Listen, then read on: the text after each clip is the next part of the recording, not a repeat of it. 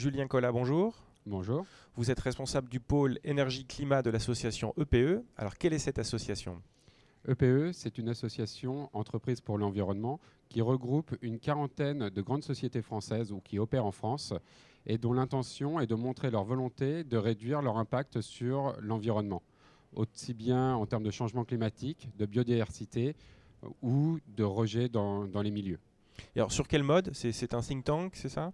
C'est ça, c'est un think tank. C'est un groupe de réflexion qui veut projeter les entreprises vers l'action. Euh, typiquement, nous avons édité l'année dernière un guide, Action climat des entreprises, qui présente les pratiques de réduction des émissions de gaz à effet de serre des entreprises de, de nos membres. Donc.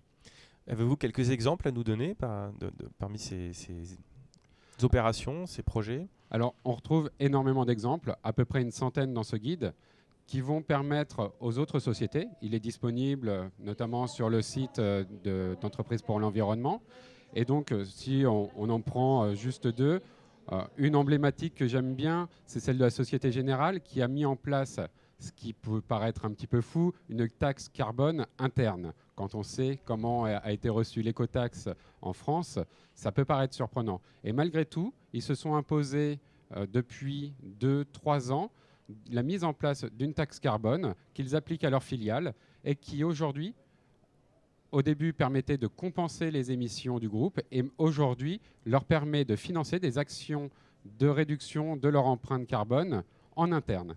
Des investissements, donc.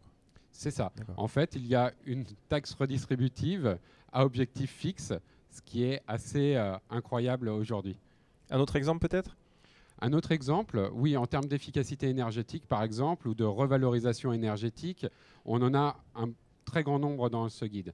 Une qui me vient à l'esprit, c'est une opération de Saint-Gobain. Pourquoi elle est emblématique? Parce qu'elle a réuni à la fois le site, les pouvoirs publics en Finlande, c'est un site finlandais, et puis les populations locales.